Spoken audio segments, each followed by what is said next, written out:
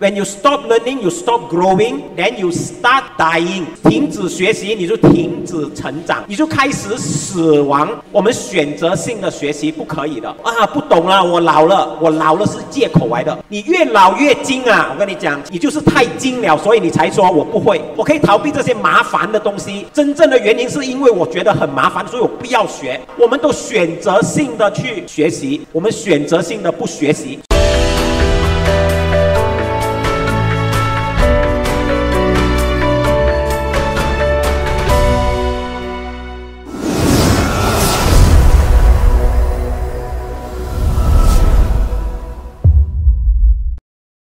理组织，药理组织告诉我们两样东西，一个就是学习，一个就是教导。所以今天我们也会有这个悟道班的推动员，还有就是组织学的老师们，都会重新的宣发他们的这个誓言啊，去服务天主的子民，去教导，去带领我们年轻的在信仰上需要被培育的子女们，还有我们的悟道者。所以一个是教导，一个是学习，这个很重要。我们从小就开始学习，其实还没有上学，我们。就在在家庭里面受教，开始学习。一个孩子从他懂事，一开始懂事，什么叫做懂事？就是他已经知道什么是对和错的，他知道的，很小就知道了的。一个小孩子从他一开始懂事的时候，他就应该开始学习，然后做父母的就有责任开始要教导。你不要宠坏他们。等下我会讲这个部分。而我们有现在有幼儿园哦，还有幼儿园，但是基本上我们有小学、中学、大学。我们中文就很清楚、很简单、很容易明白。小学、中学、大学，英文如果照翻译叫什么？Small learning, medium learning 跟 big learning，对吗？就是这样简单呢。它就是小学，就学小的东西，小小的学习，中中的学习，还有大大的学习，它有等级哦，就是一一步一步去上。我们小学学的都是什么东西？你觉得学完小学、中学和大学够吗？我们人是学不完的哦，活到老学到老，不停的学习。最怕就是你停止学习。我们小学所学的都是一些。认知的东西就是比如说知识哦，有很多东西需要背的。你在学小学的时候，对吗？这些 information 就是资料的东西，很容易学，是最最小的学习，最基础的学习。你只要临摹，你只要照抄学习那个文字怎样写，就是照抄记忆，你只要记得就可以了。然后到中学，你开始有了很多的 information，很多的资料知识，然后呢，你就开始要去学习运用你所学的知识运。用，然后到大学呢？到大学你是应该要懂得创作了，明白吗？创作，你学音乐，学音乐也是那些音乐会弹琴的。初级的时候是学哆来咪哦，你只要学抄别人的歌，你只要学会弹别人创作的歌，你不需要做创作的。但是你越来越高级的时候，你就要学习如何去创作，自己写歌，自己去作曲作词，对吗？所以大学就是你要懂得创作了，你要懂得。写论文，你要懂得如何辩论真理，你要如何去寻找和启发别人。所以，大学生、博士读到博士学位的，你要能够启发别人，对吗？但是这还不够的。因为这还是属于知识上的一种学习，人生的学习更重要的是，我们懂得了知识，要把知识能够运用成为智慧，knowledge 要变成 wisdom，知识要变成智慧。智慧不是在课堂可以学的。什么是智慧？比如说，我要。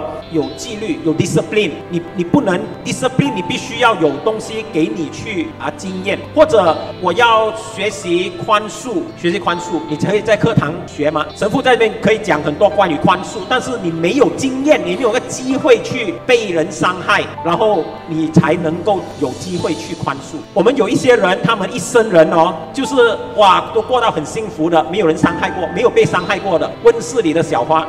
我跟你我跟你讲，如果你从从来没有被人伤害过的你，你其实不懂宽什么叫做宽恕，对吗？如果你你从来没有体验过，没有去爱过，你不懂什么是爱啊。所以有很多东西是书本上你学不到的。所以这就是活到老学到老。我们最怕的就是我们开始停止学习。我们英文说，When you stop learning, you stop growing。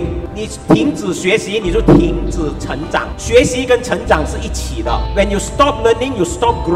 Then you start dying，你就开始死亡、枯萎。 枯死。我们今天有很多人都不愿意学习某些东西，我们选择性的学习不可以的。人生是要全面的。所谓的 holy 哦，我们讲 holiness 就是圣洁、成圣。成圣不不是一部分，我做一部分，这一部分不做，我只选择性的去做。我们人生是全面的、全体的。所以今天有很多人是选择性的学习，比如说啦，比如说哈，今天有很多年长者，我不要讲那些已经开始老人痴呆的，你们不是老人痴呆，这边有很多安迪安哥，你们不是老人痴呆的，你们很聪明的，你们也有很多的人生经验的，但是来到这个今天的这些新的科技，这些手机啊这些东西，你们就不愿意去学习啊，你什么都会。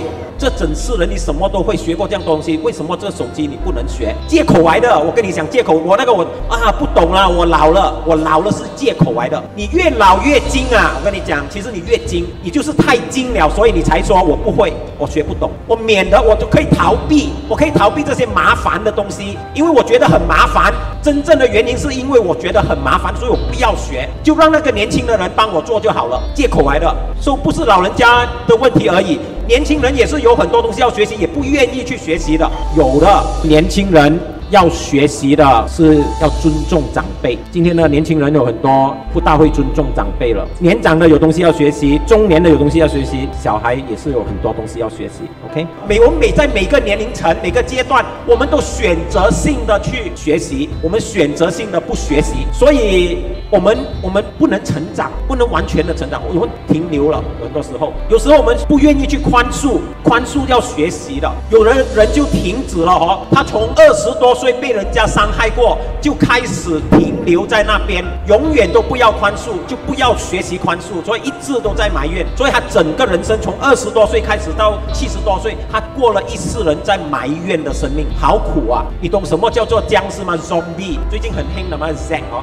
，Zombie 的。的意思就是会动的死人。今天当我们停止学习，刚刚我讲了，停止学习就是开始死亡了。有很多人就是因为这样，所以我们的生命就好像 zombie 一样，只是是一个躯体是会动的，但是我们里面已经死了。我们有很多人的灵魂已经死了在里面，因为我们不愿意改变。改变是我们每一个人都不舒服的。很多时候哦，在教堂里面，或者在我们的事工，或者在我们家庭里面，如果发生一些事情需要做出改变的话，我们都都觉得不舒服的，比如说新的神父换新的神父来，你一换一次一个新的神父，又有一个 baden 吗？对吗？所以教友们就觉得啊很不舒服，他就是这样哦，就是，但是我们的生命每一次那个改变。其实是天主给我们的一个机会，每一次的改变都是让我们能够学习和成长的啊！如果生命没有改变哦，我们就停止在那边，西飘飘啊，很古板的。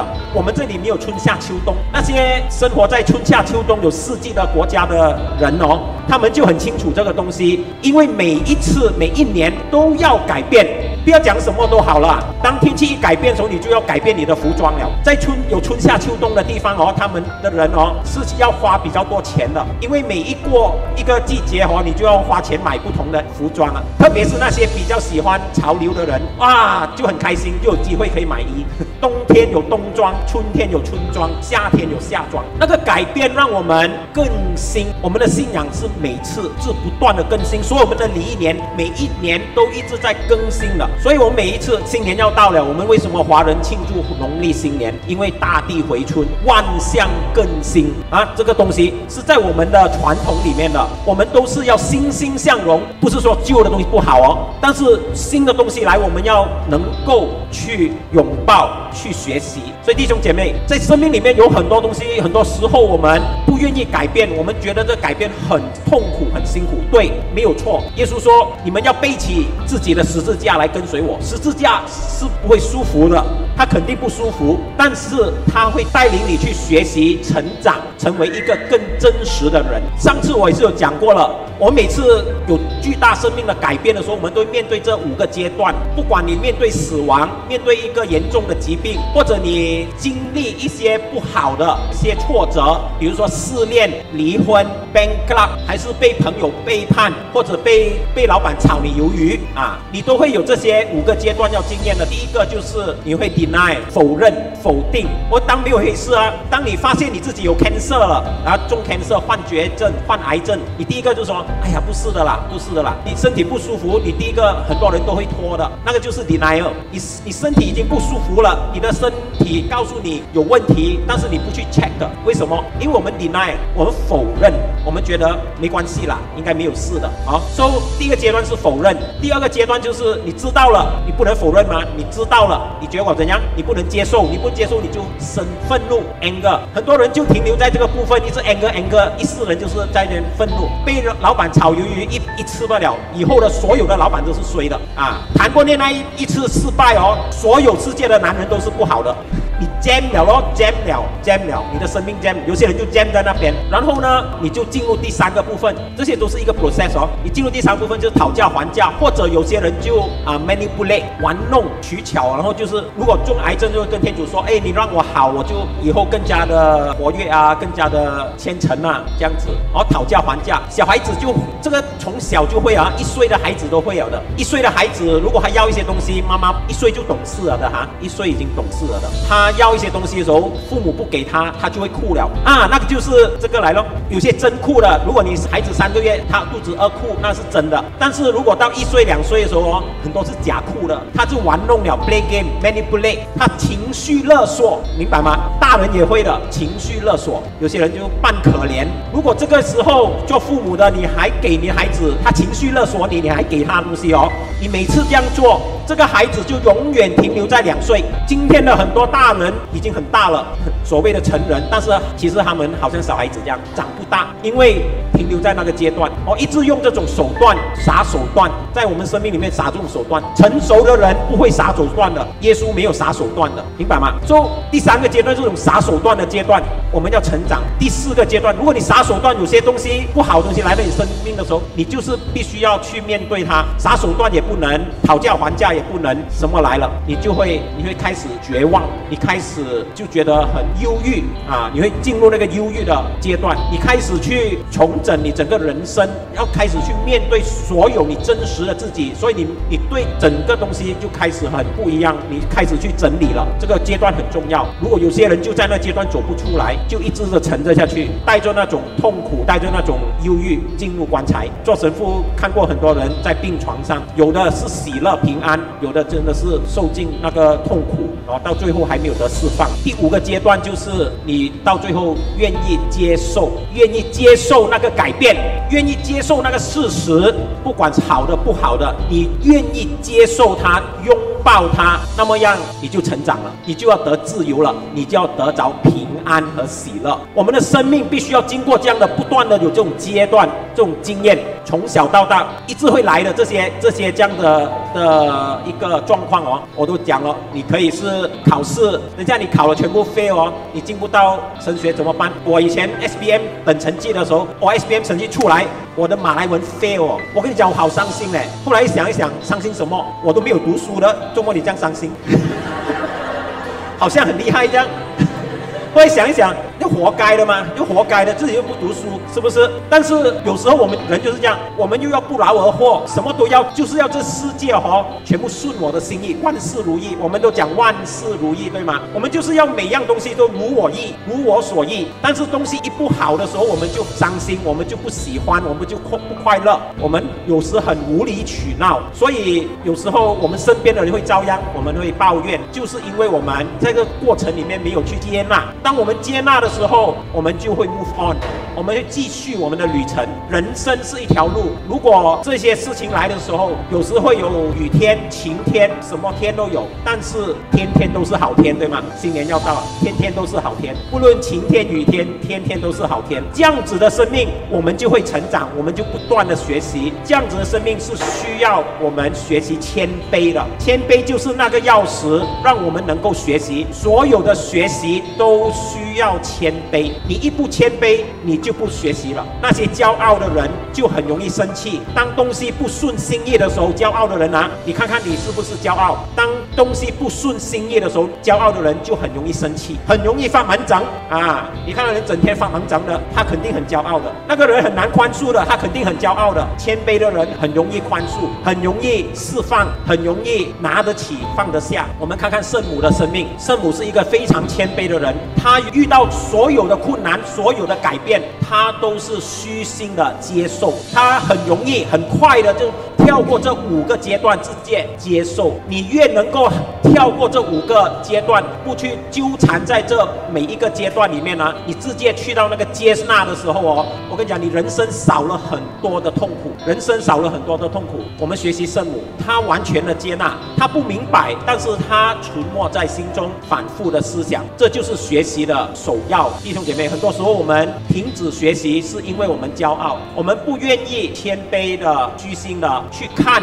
每一件人事物在我们生命中所发生的，到底天主有什么旨意？如果我们看不到，我们就默存在心中，反复思想，如同圣母一样，终究我们会找到答案。天主会启示我们，天主在适当的时候会让我们知道，会让我们开悟，让我们明白他的旨意。所以弟兄姐妹，耶稣的教训很有权威，为什么？因为耶稣所讲的是一个人生的智慧。它不是教导知识而已，知识今天的知识你可以上网可以找到的，但是智慧是需要我们经过每一次的这种经过我们人生的考验而学习的，而它最重要的就是谦卑，愿意受教。今天我们祈求天主降福我们所有的那些组织学老师，还有布道班的推动员，还有我们所有在教导上有这个职责的，我们这边有做老师的。